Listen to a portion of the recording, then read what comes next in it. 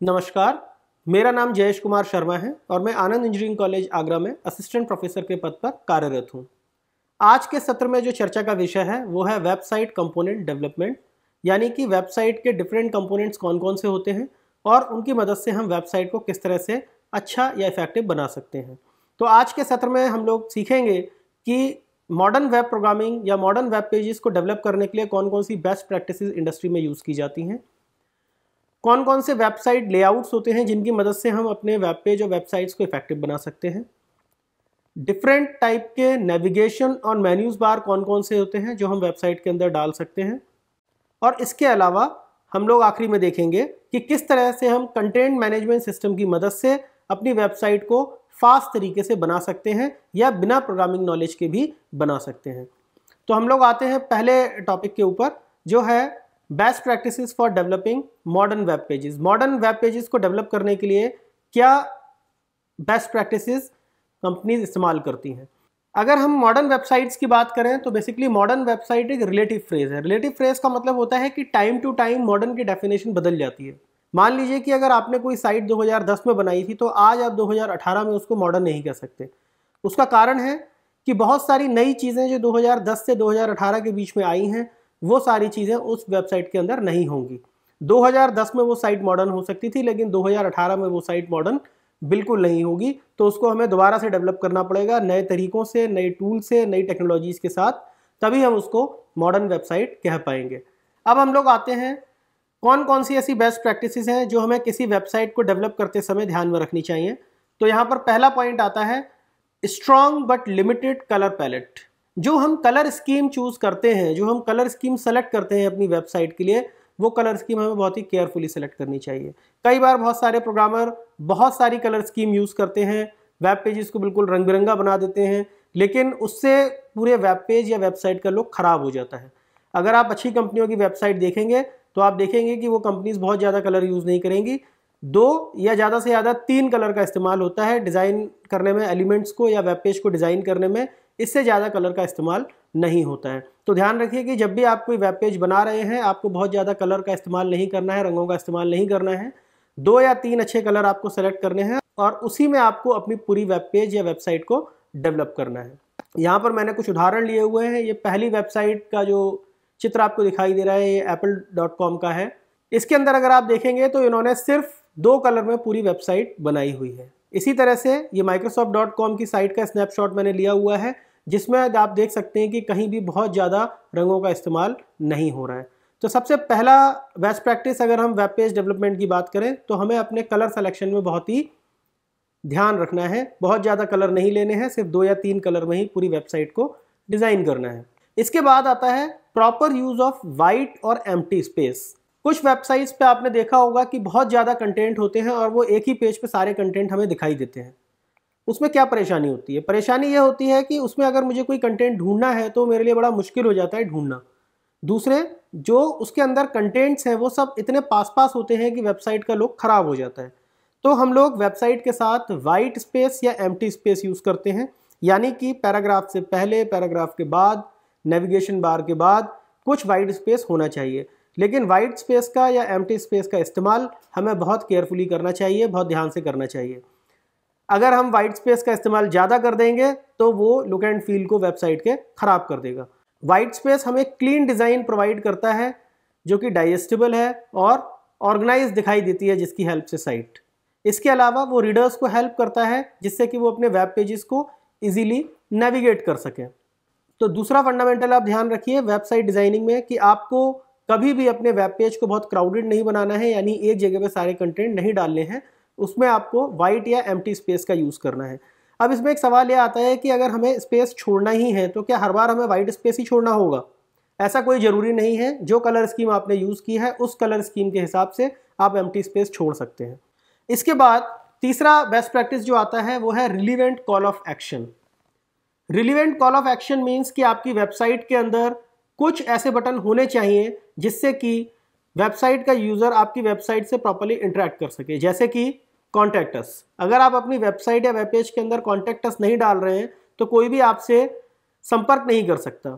इसी तरह से लाइक और शेयर, अगर आप देखेंगे तो आजकल हर वेबसाइट का लिंक होता है सोशल मीडिया के साथ। यानी अगर आप उसकी पोस्ट को लाइक करना चाहते हैं तो फेसबुक या ट्विटर के माध्यम से आप उसको लाइक कर सकते हैं और शेयर कर सकते हैं। उसके लिए आपको फेसबुक या ट्विटर पर जाने की ज़रूरत नहीं है। आप डायरेक्टली उसको इंटीग्रेट कर लेते हैं वेबसाइट के साथ। इसके बाद वीडियो इंटीग्रेशन आप देखते हैं कि बहुत सारी साइट के अंदर यूट्यूब के साथ कनेक्टिविटी रहती है, यानी कि आपको अपनी वेबसाइट पर जाके वीडियो अपलोड करने की ज़रूरत नहीं है। आप उसका इंटीग्रेशन यूट्यूब के साथ कर सकते हैं, जो आपकी वेब पेज या वेबसाइट की इफेक्टिवनेस को और बढ़ाता है। इस चित्र के अंदर आप देखेंगे कि मैंने कई कॉल ऑफ़ एक्शन यहाँ लिखे हुए हैं कॉल टू एक्शन लिखे हुए हैं, जो किसी भी वेबसाइट के लिए मॉडर्न वेबसाइट के लिए आज के समय में बहुत ज़रूरी हैं, जो आपको प्रोवाइड करने होते हैं अपने वेब पेजेस के साथ।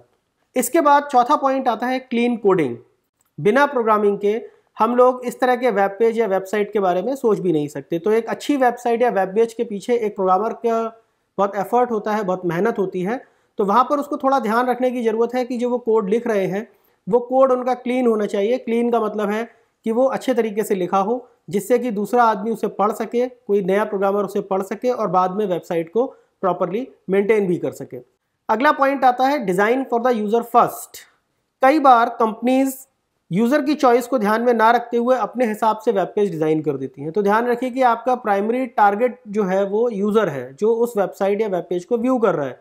तो हमेशा जब भी आप लुक एंड फील की बात करते हैं तो आपको यूज़र को ध्यान में रखते हुए लुक एंड फील डिसाइड करना है वेब पेज का, ना कि आपकी अपनी चॉइस के हिसाब से। इसके बाद अगला पॉइंट जो आज के समय में बहुत महत्वपूर्ण है एस बूस्टिंग एलिमेंट्स एस क्या होता है? एस होता है सर्च इंजन ऑप्टिमाइजेशन आप अक्सर गूगल पर कुछ सर्च करते हैं तो जो पहला, दूसरा या तीसरा रिज़ल्ट आ रहा है, वो कैसे आ रहा है? उसके लिए कहीं ना कहीं सर्च इंजन ऑप्टिमाइजेशन जिम्मेदार है। आप भी अपनी साइट में सर्च इंजन ऑप्टिमाइजेशन के माध्यम से अपने वेब पेज या वेबसाइट की रैंकिंग बढ़ा सकते हैं। तो उसके लिए बहुत महत्वपूर्ण है कि एस बूस्टिंग एलिमेंट का इस्तेमाल हम अपनी वेबसाइट में करें। बहुत सारे ऐसे एलिमेंट होते हैं जो सर्च इंजन ऑप्टिमाइजेशन में हमें मदद करते हैं। जैसे कि meta tag title tag heading tag modern web page development की अगली बेस्ट प्रैक्टिस है स्पीड ऑप्टिमाइजेशन स्पीड ऑप्टिमाइजेशन का मतलब होता है कि जो वेबसाइट के यूज़र हैं, जो आपकी वेबसाइट को व्यू कर रहे हैं, उनके सिस्टम पे आपका वेब पेज तेज़ी से खुलना चाहिए, यानी बहुत ही कम टाइम लेना चाहिए खुलने में।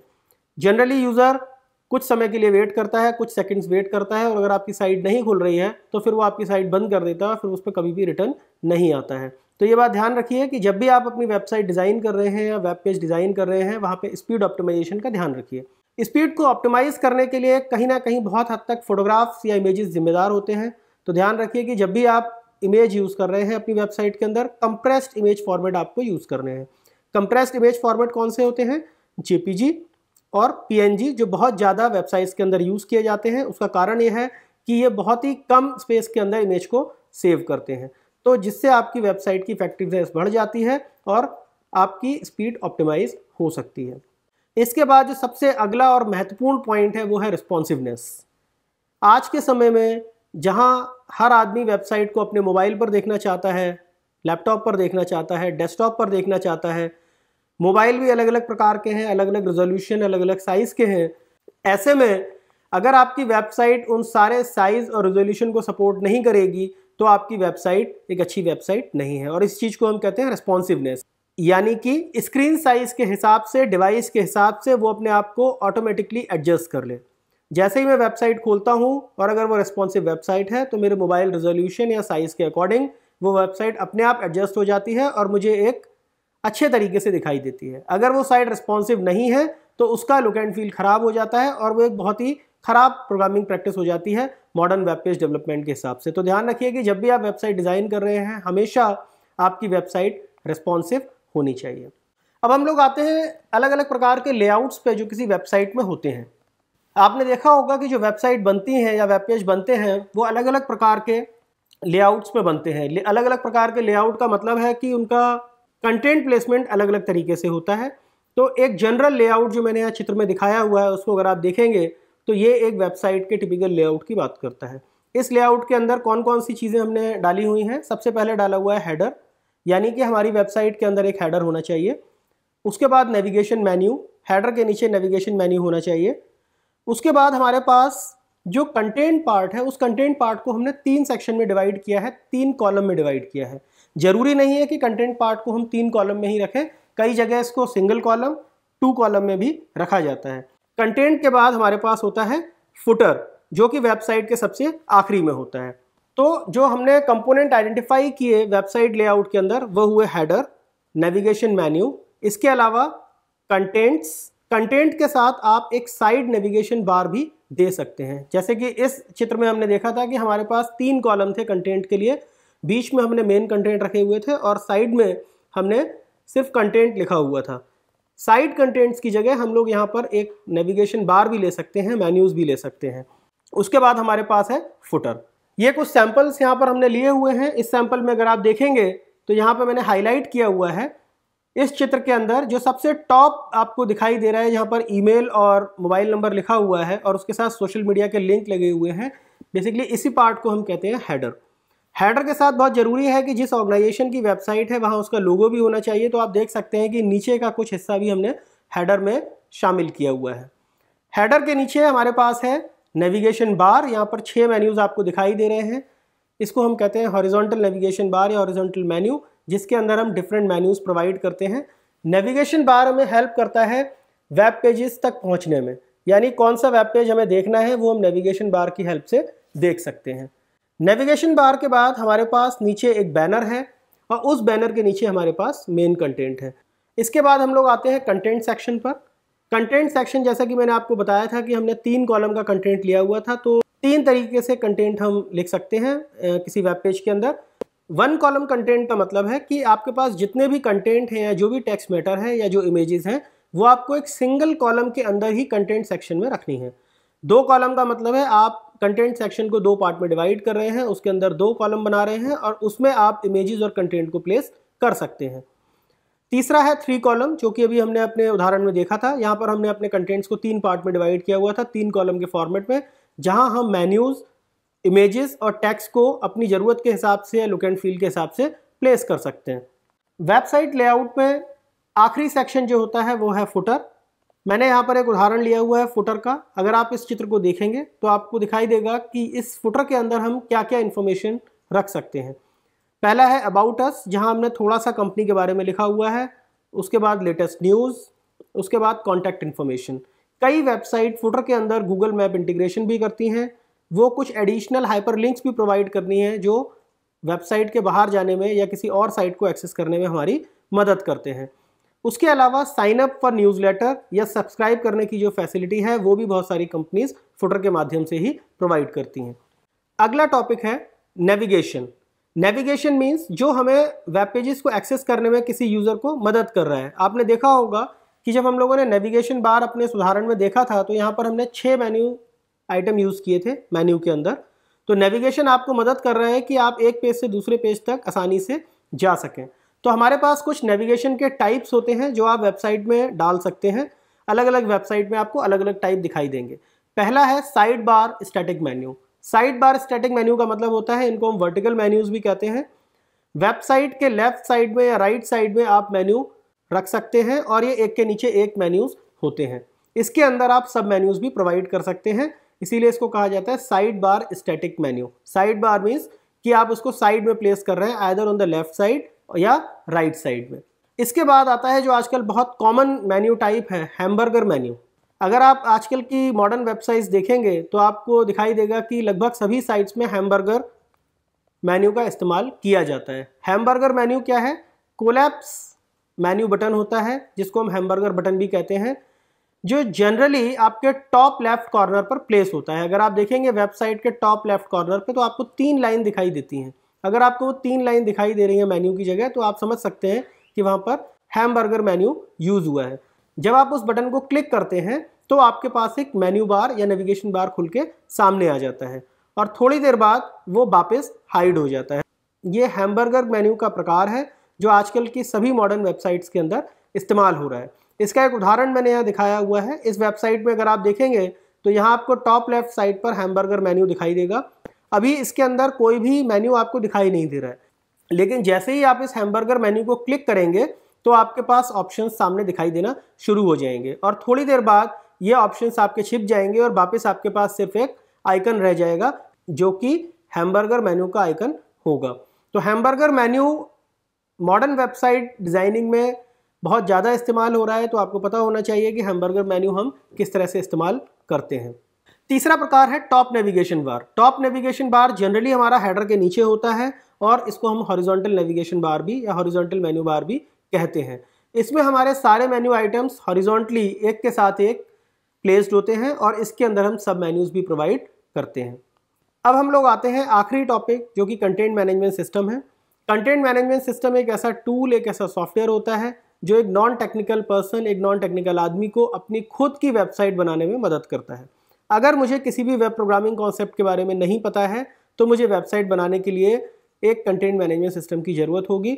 तो बिना जावा स्क्रिप्ट एच टी की जानकारी के मैं अपनी वेबसाइट खुद बना सकता हूँ।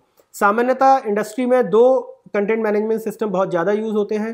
पहला है वर्ड और दूसरा है जूमला इन दोनों में से किसी भी एक कंटेंट मैनेजमेंट सिस्टम की मदद से आदमी अपनी खुद की वेबसाइट बिना किसी प्रोग्रामिंग नॉलेज के बना सकता है। इस सत्र में हमने देखा कि अगर हम लोग मॉडर्न वेब पेज को डेवलप कर रहे हैं तो कौन कौन सी ऐसी बेस्ट प्रैक्टिसेस हैं जो हमें ध्यान में रखनी चाहिए? इसमें कलर स्कीम से लेके रेस्पॉन्सिवनेस से लेके वाइट स्पेस तक का महत्वपूर्ण योगदान है।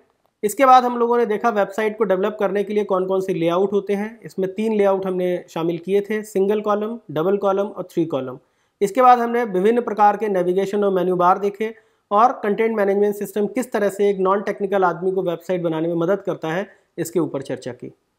अगले सत्र में हम लोग सर्वर प्रोग्रामिंग के बारे में चर्चा करेंगे। धन्यवाद।